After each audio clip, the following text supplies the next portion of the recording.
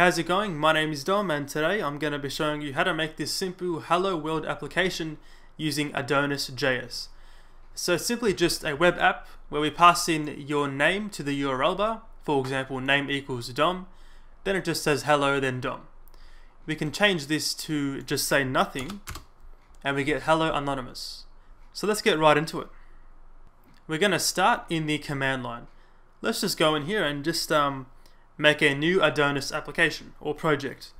So we can type in Adonis new, then hello world, and make it a slim application. So just write dash dash slim to um, reduce the amount of generated files.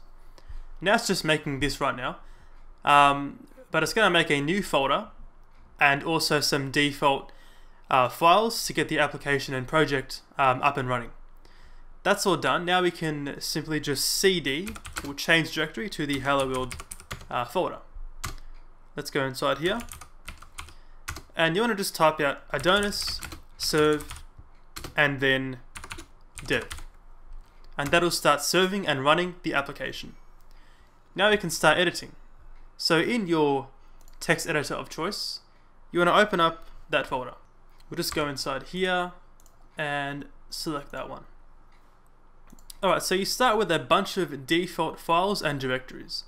You want to go inside the start directory and open up routes.js.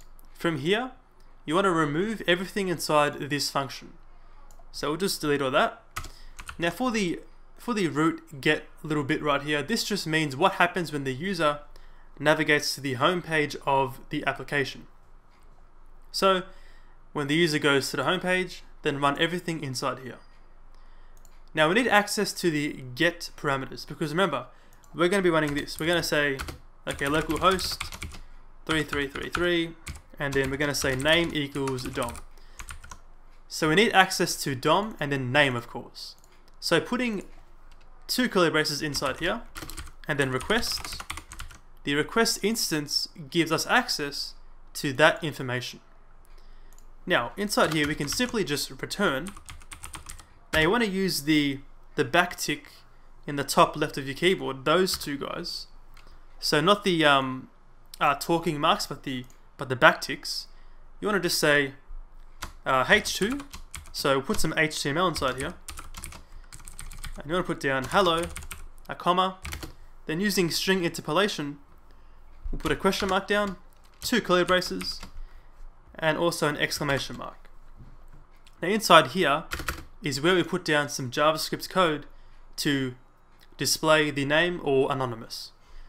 So we can say request dot input and then name or anonymous.